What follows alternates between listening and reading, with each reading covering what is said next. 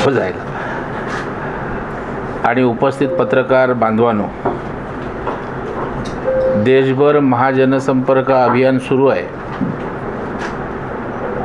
तसंच महाराष्ट्रामध्ये मोदी साहेबांच्या नऊ वर्षाच्या कारकिर्दीचा लेखाजोगा जनतेसमोर मांडणारं महाजनसंपर्क अभियान महाराष्ट्रात सुरू आहे. आणि या अभियानाचा राज्याचा प्रमुख संयोजक या नात्यानं आज मी या ठिकाणी दहा तारखेला जी अमितभाईंची जाहीर सभा होणार आहे याच अभियानाअंतर्गत त्या सभेचा आढावा घेण्यासाठी इथली व्यवस्था पाहण्यासाठी आणि कार्यकर्त्यांची बैठक घेण्यासाठी या ठिकाणी आलो होतो. आणि या निमित्तानं शेवटी हे सगळं आम्ही जे करतो आहे ते आपल्या माध्यमातूनच जनतेकडे जात असतं. आणि म्हणून आपल्याशी वार्तालाप साधावा म्हणून आपणाला या ठिकाणी निमंत्रित केलेलं आहे. महाजनसंपर्क अभियान काय होणार आहे मी पुण्यानं पुन्हा उजळणी करत नाही. कारण ना खासदार साहेबांनी देशभरामध्ये मोदी साहेबांच्यामुळे कसा विकास होतोय? आपल्या देशाची प्रतिष्ठासुद्धा जगभर कशा पद्धतीनं उंचावते? आणि देशभर विविध प्रकल्प विकास योजना समाज घटकांसाठी काय होतंय? हे त्या ठिकाणी पत्रकार परिषदेच्या माध्यमातून आपल्यासमोर आलं आहे त्यामुळं त्याचा वापो पुन्हा मी या ठिकाणी करणार नाही. परंतु आमच्या पक्षाचे नेते देशाचे गृहमंत्री अमितभाई शाह यांची महाराष्ट्रातली या अभियानाच्या निमित्तानं दहा तारखेला या ठिकाणी एक प्रचंड जाहीर सभा. काय मैदान ते? अबचल नगर अपचन अबचल नगर. नगर या ठिकाणी संपन्न होते. आणि मला वाटतं एक रेकॉर्ड ब्रेक सभा या ठिकाणी ती होईल अशा प्रकारचा आमचा मानस आहे विश्वास आहे. आणि त्या सभेच्या माध्यमातून अमितभाईंचे विचार देशासाठी सुरू असलेलं मोदी साहेबांच्या माध्यमातून काम आणि गृहमंत्री म्हणून देशाच्या सुरक्षतेच्या संदर्भात निश्चितपणे या ठिकाणी आपल्या सगळ्यांना त्यांचं मार्गदर्शन मिळणार आहे. सभेसाठी आमची सगळी पदाधिकारी कार्यकर्ते जोमानं कामाला लागलेले आहेत. त्यांच्या बैठका झालेल्या आहेत. अधिकाऱ्यांच्या आम्ही आल्यावर पुन्हा एकदा बैठक गेली त्या अगोदरही सगळ्या व्यवस्थेची इथले जिल्हाधिकारी असतील इथले आयुक्त असतील एस पी असतील वैद्यकीय जिल्हा शल्य चिकित्सक असतील सार्वजनिक बांधकाम विभागाचे अधिकारी असतील यांनी आपापल्या परीनं या व्यवस्थेमध्ये या ठिकाणी जातीनं लक्ष घालून नियंत्रण आणि व्यवस्था कशी होईल याचीही ते त्या ठिकाणी काळजी घेत आहेत. संपूर्ण जिल्ह्यातना मोठ्या संख्येनं या ठिकाणी जनतेनं उपस्थित राहावं नागरिकांनी उपस्थित राहावं अशा प्रकारचं आव्हान देखील मी आपल्या माध्यमातून या ठिकाणी नांदेडवासियांना करतो आहे कारण लोकशाहीमध्ये या ठिकाणी जनता सर्वश्रेष्ठ आहे. आणि जेव्हा पंतप्रधान मोदी साहेबांवर दुसऱ्यांदा देशातील जनतेनं विश्वास दाखवला आणि नऊ वर्षाची कारकीर्द पूर्ण होत असताना त्या विश्वासाला पात्र ठरण्याचा किती आम्ही प्रयत्न केला प्रामाणिकपणे? हे जनतेसमोर आणणं हे आमचं कर्तव्य आहे जबाबदारी आहे. आणि त्या भावनेतनं या ठिकाणी लोकशाहीला अभिप्रेत असणारं असं लोकांमध्ये जाऊन त्या ठिकाणी आमचं अभियान सुरू आहे. आणि त्यानिमित्तानंच या ठिकाणी अमितभाईंची सभा या आमच्या कार्यकर्त्यांसाठी तर उत्साह आहेच.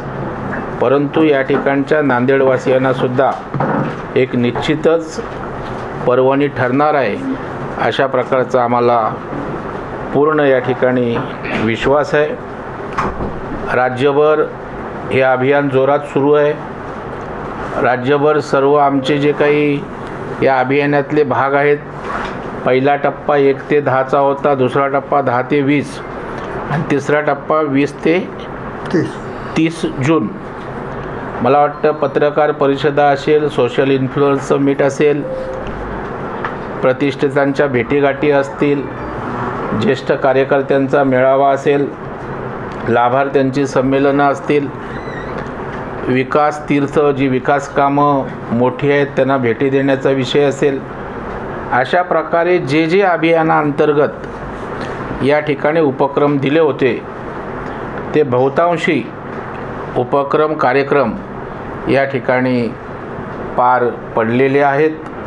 उर्वरित कार्यक्रमांचंही नियोजन त्या ठिकाणी जोरात आहे.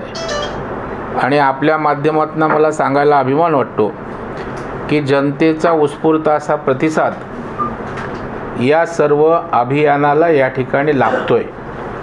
समाजातील प्रतिष्ठित किंवा ज्यांना आपण बुद्धिजीवी प्रबुद्ध असं समजतो की जे समाजावर प्रभाव पाडतात ज्यांच्या मताचा समाजमानावर प्रभाव होतो त्यांनी येऊन त्या ठिकाणी आमच्या नेत्यांशी आमच्या मंत्र्यांशी त्या ठिकाणी संवाद साधलेला आहे. अगदी केंद्रीय अर्थमंत्री निर्मला सीतारामन असतील त्या ठिकाणचे ज्योतिरादित्य सिंधिया साहेब असतील मंत्री केंद्रातले अनेक मंत्री अनेक उच्च आमचे वरिष्ठ नेते या ठिकाणी महाराष्ट्रामध्ये जवळपास अठ्ठेचाळीस लोकसभामध्ये त्यांचा त्या ठिकाणी याना त्या कार्यक्रमाच्या निमित्तानं प्रवास झालेला आहे.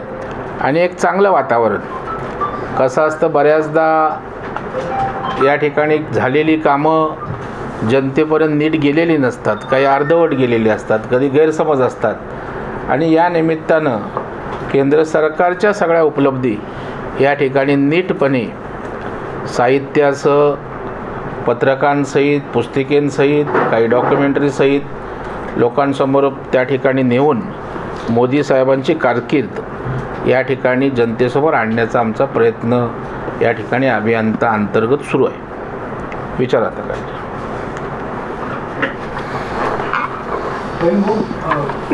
नांदेडचीच निवड या सभेसाठी झाली आहे. काही विशेष योग म्हणायचा की काही काही जुनी संपर्कात तुमच्या इथली मंडळी वाढत होती पण अमित शहा थेट नांदेडमध्येच. काही विशेष योग म्हणायचा? नांदेडवर प्रेम अमितभाईंचं जास्त आहे असं समजा. कारण जर महाराष्ट्रात अठ्ठेचाळीस लोकसभा आहेत आणि अठ्ठेचाळीस लोकसभेमध्ये आमचे ज्येष्ठ नेते जर नांदेडची निवड करत असतील तर नाव नांदेडकरांसाठी तो अभिमानाचा विषय आहे. आणि निश्चितच अमितभाईंच्या येण्यानं नांदेडच्या विकासाला त्या ठिकाणी आणखी गती मिळेल आणि म्हणून ते नांदेडवासियांसाठी स्वागतार्ह आहे. लोकसभेची तयारी आहे. निवडणुकीची भारतीय जनता एक लक्षात ठेवा. आता पक्ष काढलेत निवडणुका आल्या तर प्रत्येक पक्ष तयारीत असतो. आणि भारतीय जनता पार्टी तर नाही नाही याचा आणि निवडणुकीचा अर्थार्थी संबंध नाही. परंतु याचा लाभ निवडणुकीला होणार नाही असं नाही का? तर निश्चितच या सगळ्या अभियानाचा सभांचा उपक्रमांचा निवडणुकीला लाभ होईलच. परंतु निवडणूक डोळ्यासमोर आहे. म्हणून हे नववर्षाचं अभियान नाही आहे तर नववर्ष एक वर्ष निवडणुकीला राहिलं आहे आणि मग जनतेला नीट केंद्र सरकारने काय केलं आहे मोदी साहेबांनी या ठिकाणी चोवीस तास काम करून देशवासियांसाठी काय केलं आहे हे त्या ठिकाणी ज्यांनी त्यांना त्या जागेवर बसवलं त्यांना समजलं पाहिजे पोचलं पाहिजे. म्हणून हे अभियान आहे. निवडणूक आणि अभियानाचा असा काही संदर्भ लावायचं कारण नाही पण निश्चितच या उपलब्धी योग्य पद्धतीनं गेल्यात. आमच्या नेत्यांच्या सभा जे काही मेळावे होत आहेत त्याचा स्वाभाविकपणे निवडणुकीत फायदा होईलच.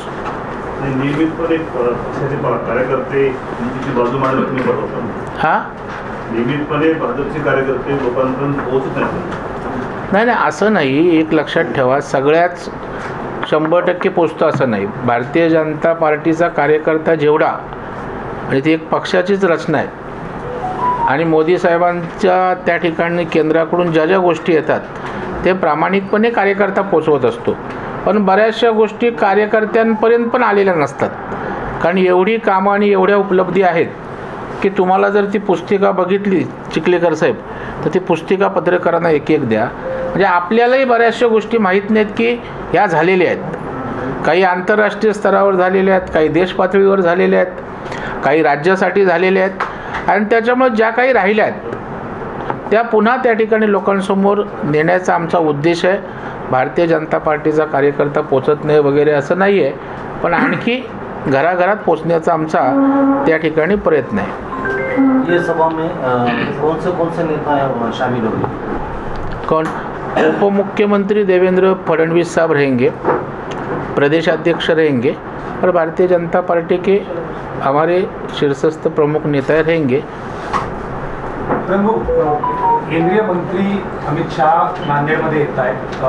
ग्रह खातं त्यांच्याकडे पण राज्यातली परिस्थिती बघितली तर ग्रह खातं देखील रेवरींकडे आहे आणि कोल्हापूर असेल किंवा नगरमध्ये झालेली घटना आज कोल्हापूर देखील धुमस्त आहे. या सगळ्या परिस्थितीत काय नेमकं सुरू आहे? तुमचं काय मत आहे? कारण मुख्यमंत्र्यांनी सांगितलं की कुणीतरी भडकवण्याचं काम करतंय. औरंगजेबाच्या फोटोवरून वाचतो तर मला वाटतं कुणीच अशा प्रकारचा भडकवण्याचा प्रयत्न करू नये. आणि खास करून माझा विरोधी पक्षावरच आरोप आहे. कारण केंद्र सरकारचं काम नीट चालू आहे. मोदी साहेबांवर टीका करायला संधी नाही. त्यांच्या विकास कामांकडे बोट दाखवायला संधी नाही. भ्रष्टाचाराचा एक तसूभरही आरोप त्यांच्यावर होऊ शकत नाही केंद्र सरकारच्या मंत्र्यावर होत नाही. राज्यामध्ये देवेंद्रजींच्या नेतृत्वाखाली आणि शिंदेसाहेबांच्या नेतृत्वाखाली दहा महिन्यामध्ये या ठिकाणी गतीनं काम होतं आहे आणि मग कामावर बोलता येत नाही तर अशा प्रकारचे मुद्दे त्याला खतपाणी घालायचं आणि ज्याला आगीत तेल ओतणं म्हणत म्हणतात ते करून आपली काही राजकीय पोळी भासता येते का? अशा प्रकारचा प्रयत्न दुर्दैवी आहे. नाना पटोलेंनी प्रकरणावरून राजीनामा मागितला आहे. दोन महिन्यामध्ये सहा ठिकाणी दंगली झाल्या आहेत. नगर नाशिक संभाजीनगर अकोला अमरावती. आता नाना पटोलेंनी राजीनामा मागलाय नाना पटोलेचं वक्तव्य सिरियस कोण घेत नाही नाना पटोलेच्या रोज नाना तरा असतात. त्याच्यामुळे नाना कधी वैचारिक बोललेत. कधी विकासात्मक प्रॉपर टीका केले अशा प्रकारचं नानाचं प्रदेशाध्यक्ष म्हणून ज्या स्ट्रेचरनी त्यांचं व- वक्तव्य असायला पाहिजे दुर्दैवानं ते नाही आहे आणि त्याच्यामुळे नानांना अशा प्रकारच्या घोषणा राजीनाम्याच्या मागण्या वादग्रस्त काहीतरी बोलायचं हे नानाची आता ठरलेली रोजची स्टाईल आहे. एकीकडे तुम्ही अभियानासंदर्भात बैठका घेता पण तुमचे तिथले लोकप्रतिनिधी आमदार वगैरे दिसत नाहीत असं काहीच नाही आहे तुमच्या नजरेतनं दिसत नाहीत सगळं हे कोण आहेत आमदार आहेत ना दिसतात त्याचं सांगत नाही दिसत नाही त्याचं बोलतात काही दिसत नाहीत बोलायला रातो रातोळीकर नाही तुम्ही मला आता न- निदर्शनास आणल्यास दखल घेईन आता मला तुमच्यामुळं तुम्ही सांगताय ते मी नोट घेतले मी आमच्या वरिष्ठांना त्या ठिकाणी कळवेन तुम्ही जे म्हणताय ते. परंतु या कार्यक्रमात सगळे एकत्रित आहेत. माझे दोघे आता आमदारांचं बोलणं झालं रातोळीकरांचं कोर कमिटीला होते बरोबर. परवा होते. दुसरे आपले राठोड पण त्यांच्याबरोबर बाहेर आहेत. परंतु अजिबात असं काय नाही आहे कारण शेवटी अमित भाई आमचे नेते आहेत. आणि नेत्यांची सभा ही आमच्यासाठी मोठी होणं ताकदीनं होणं हा आमच्या सगळ्यांचा त्या ठिकाणचा प्रयत्न असतो. आणि त्याच्यामुळं खासदार असतील आमदार असतील आमचे सारे पदाधिकारी एकजुटीनं या ठिकाणी सभेच्या यशस्वीतेसाठी कामाला लागलेले आहेत. आणि आपण ज्या काही सूचना केल्यात त्याची निश्चितच नोंद घेऊन वरिष्ठांकडे या संदर्भात सांगू. संघटनात्मक बदल होणारच म्हणजे घटनेनुसार पदाधिकारी बदलाचं ते चालू आहे. नाही सध्या तरी आता आमचं अभियान सुरू आहे. परंतु जिल्हाध्यक्ष विधानसभा वाईज पदाधिकारी हे भारतीय जनता पार्टीत तीन तीन वर्षांना बदलले जातात. त्याच्यामुळे ती एक प्रक्रिया आहे त्याप्रमाणे ते होईल. तर न्यायालयानं निकाल दिला आहे तरीही मंत्रिमंडळ विस्ताराला अजून मुहूर्त लागत नाही. काय कारण? माझ्या हातातला तो विषय नाही. देवेंद्रजी किंवा एकनाथराव शिंदे साहेब या संदर्भात सांगू शकतील. तुमचंही नाव चर्चेत आहे. मला न मी पण ऐकतोय तुमच्याकडून. चर्चा तुम्हीच करू शकता ठीक आहे? थँक्यू करते की राज्यात होणाऱ्या दंगलीच्या मागे विरोधक आहेत. तर मग राज्यामध्ये जी गुप्तचर यंत्रणा आहे ती काही फेल ठरली आहे का? नाही असं काही नाही आहे आता अडीच वर्षाच्या कालावधीमध्ये काही गुप्तचर यंत्रणा अस्तित्वात होतीच ना. आता राजकीय अभिनिवेशातनं हे आरोप करतायत. गुप्तचर यंत्रणेकडून जी जी माहिती होते त्यानुसार कारवाई होते. लोकांना पकडलं जाते आणि देवेंद्र फडणवीस साहेब यासाठी कोणाचीही हैगाई करणार नाहीत. आणि गुप्तचर यंत्रणेमध्ये सुद्धा काही जर लिथार्जिकपणा असेल तर त्याची दखल ते घेतील. एकीकडे मुख्यमंत्री स्वतः शांततेची भाषा वापरत आहेत आणि आव्हान करत आहेत सर्वांना की दंगली होऊ देऊ नका. पण तुमचा नितेश राणे स्वतः तलवार काढायची भाषा करतोय. नाही ते सरकारचे प्रमुख मुख्यमंत्री म्हणून आहेत. नितेश राणेची कार्यकर्ता म्हणून ती भूमिका आहे. तर या दंगली मागे जर विरोधक असतील तर त्याची काही लिंक लागत नाही आहे का? आणि एक लक्षात. ठेवा. अशा परिस्थितीमध्ये काही गोष्टी उघडपणे बोलायच्या असतात काही गोष्टी सांगितल्या जातात परंतु बऱ्याचशा गोष्टी अशा असतात की आपल्याला त्या उघड करता येत नाहीत. त्याच्यामुळं पोलिसचं ग्रह खातं जे आहे त्या सर्व प्रकरणाची नीटपणे सर्व गोष्टी ज्या काय करायच्या आहेत ते करत आहे आणि योग्य वेळी याच्यामागे कोण खतपाणी घालतंय तेही भारी आणि औरंगाबादमध्ये इम्तियाज जलील यांनी सातत्याने पंधरा दिवस विना परवानगी आंदोलन केलं. ते आंदोलन कुणीच थांबवलं नाही. त्यामुळे नाही मला वाटतं अशा प्रकारचे आंदोलनं करतात त्यांना बोलत नाही. उद्या जर आमच्या हिंदुत्ववादी विचारधारेनं एखादं आंदोलन असं केलं असतं तर त्या ठिकाणी टीकेचा भडीमार झाला असता. मला वाटतं कायदा सगळ्यांसाठी सा सारखा आहे. आणि त्याच्यामुळे आंदोलन करत असताना भडकावू एखादी गोष्ट होईल तर त्याला आंदोलनाला त्या ठिकाणी खतपाणी देऊ नये. आणि अशा प्रकारचे आंदोलनं करू नये.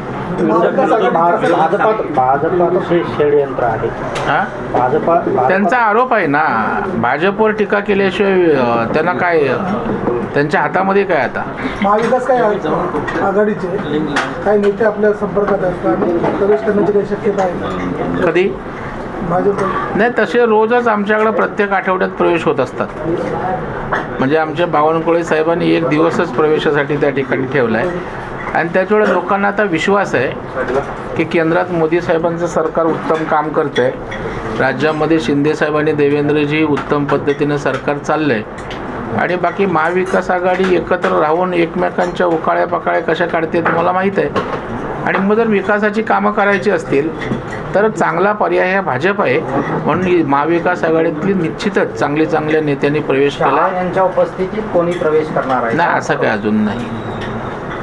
भीमा कोरेगाव प्रकरणात फडणवीस यांना चौकशीला बोलावे असं पत्र प्रकाश आंबेडकरांनी आयोगाला दिलेलं आहे. या संदर्भामध्ये फडणवीस साहेबांनी आपली भूमिका त्या ठिकाणी मांडलेली आहे.